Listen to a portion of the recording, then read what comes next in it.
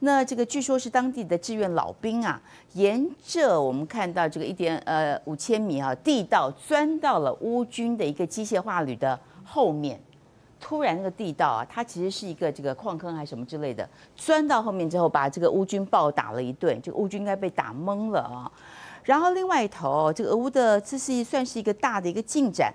记不记得六月三十号泽伦接受访谈的时候有个大转弯啊，不再坚持跟俄罗斯直接谈判，可以寻第三方的协议模式。然后呢，七月四号我们看到，然后这个普丁呢就在上合峰会嘛啊。在这个上合峰会的时候，说俄罗斯始终支持谈判，欢迎调停。哎，这是这个泽伦的转弯哦，普京赞美啊，称赞呃就同意了，对不对啊？可以第三方调停，这应该算是一个很大的一个变化。那另一头就是匈牙利哦，好不容易轮到了欧盟的轮值主席呀。要干大事，对不对？他先去访问了乌克兰，到了基辅哦。当然，这个他所提议的泽伦都打了回票。然后呢，他马上又要访问莫斯科。他一去莫斯科呢，啊，他本来指定七月五号，克宫发言人马上就说普京很忙，对啊，他在上合啊，啊，所以呢，今天还不能证实。但导致欧盟急了啊，欧盟轮值主席国无权代表欧盟跟俄罗斯接触啊。你怎么看呢？当然，同时我要让丽将军补充的就是，根据这个呃有一个这个网站的记录哦，大陆运二零，他把这个飞行路线都出来啊，就发现呢，他飞到了这个俄罗斯这个莫斯科附近。那当然说是任务不明啦，当美西方就会觉得哦抓到了，是不是来支援俄罗斯了？哎，我们先从这个俄乌战争这种态势来看哈。第一个，我们不要光看顿巴斯这场这个一个小小的一个战斗。我们要看全班，不然就流于见树不见林。大家可以注意到，就是说，其实现在来讲的话，俄乌战争可以说有两条主要战线，一条是北方的哈尔科夫，另外一个就是这边讲的顿巴斯。但你有没有发现，就是一个从北边打下来，打下来这时候，这个我一直讲说，这个哈尔科夫这边叫决战，为什么？因为我们前你观察前两天，这个哈尔科夫这边，这个乌克兰的军队也大力的在投入这边，在这边做决战，哈，然后甚至于说是。这个乌克兰有有一点反攻的，又夺回几个据点这种迹象，所以我们看到乌克兰其实主力他放在这边在做攻击，但是乌东来讲的话，他很多部队抽调上去，所以现在来讲的话，他兵力明显不足，但兵力不足被被向后退是理所当然，但是他有一个关键，有一个关键什么关键呢？就是说你必须要在北部哈尔科夫这边打完胜仗之后，你再把这些部队移拐下来。如果这边你没有打完胜仗之前，你这个地方退得太慢的话，乌东来讲的话。你向后退，退得太太快的话，乌俄俄罗斯进展太快的话，那你就没有我们叫做没有回旋空间，就你部队就被压缩在这边。用白话文讲，就被包围了。就哈尔科夫跟乌东这边就包围。那现在很明显，我们看到一个局势，就是说现在来讲，哈尔科夫现在正在决战，双方来讲就是这个攻守来讲还谁胜谁负还很难这个判断出来。但是乌东这边来讲的话，会不会乌克兰这边啊顿巴斯这边来讲的话，乌克兰就退太快了？就目前来讲的话，他暂时守不住，一天一天就逐次向后在在这个转进作战，再向后退却。那加上这场战役，这场战争来讲的话，就是俄罗斯他利用这个地道钻到他后面去，然后对他攻击。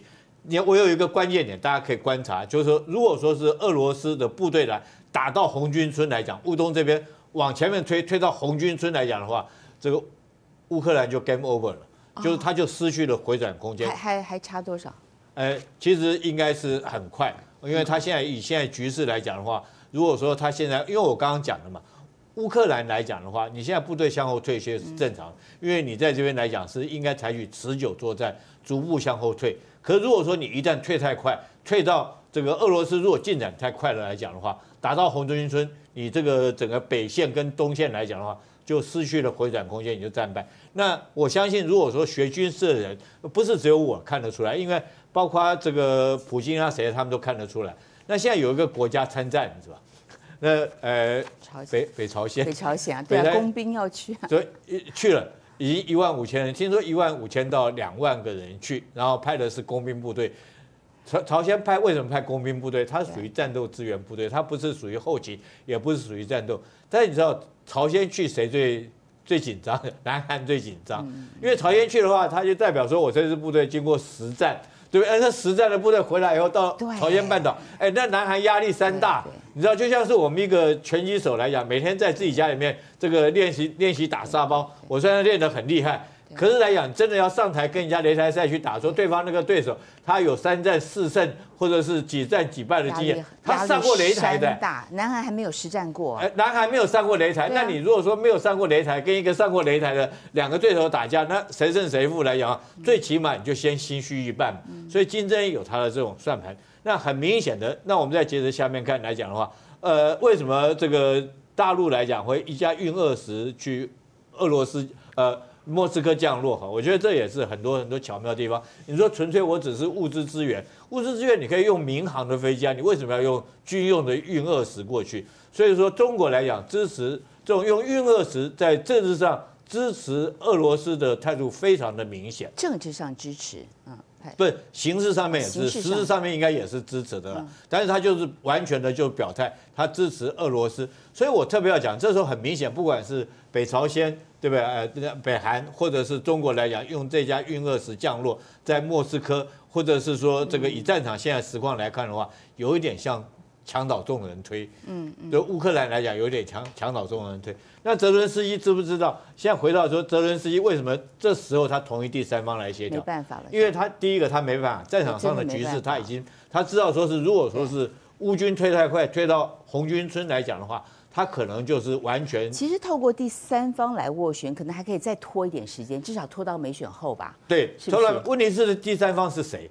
对美国来讲，自己不可能跳进来。哎，他有点名美国哦，对，但是我觉得美国这时候不可能进来了。那你美国进来来斡旋的话，就美国自己承认自己战败嘛，北约就立刻解散。嗯对不对？那中国会不会进来？我觉得中国习近平大概这时候也不会进来，嗯因为这时候来讲的话，他恨不得俄乌战争越打越激烈，对对不对？然后这个在在我们刚刚谢大使讲的，亚克讲的，在中东这呃在中亚这一块地方来讲，他可以获取更多的战略利益，包括哈萨克啊或中吉乌啊，然后呃俄罗斯就逐逐步的会把中亚地区的这个权利让给对，中国。但不管如何哈，他的这个讲法，我们看到这个普丁应该是同意的哈，表达欢迎，所以这是蛮大的一个转变。那当然，匈牙利也很有趣啦，好不容易逮到这个当欧盟轮值主席，动作超大，七月一号上任，七月二号跑到基辅嘛，现在马上就我七月五号要去俄罗斯要去看普丁，就俄罗斯马上说抱歉，我们普丁很忙。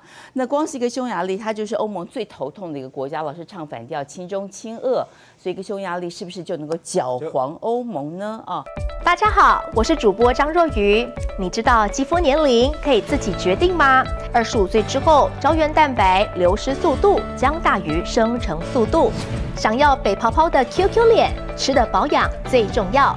皮肤好，人不老，真正的美丽来自于内在。实际研德国专利胶原蛋白生态，快点购，全台独家贩售。德国专利原料进口，成分天然零添加。平均分子量两千道尔顿，小分子好吸收，重金属、西药检验、SGS 检测全过关，品质安全有保障。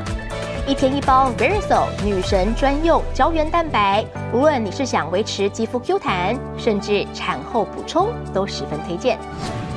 在这里想告诉大家，这不是药，保养习惯就要从现在开始。